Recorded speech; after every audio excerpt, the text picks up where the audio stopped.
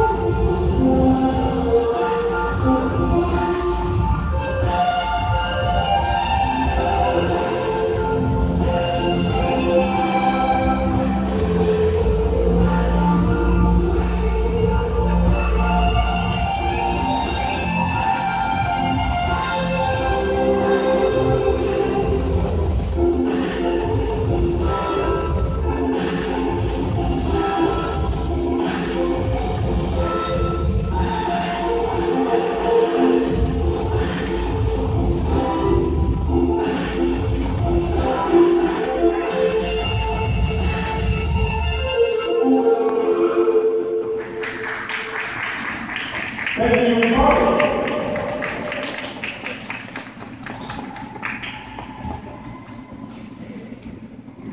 Professor White, please join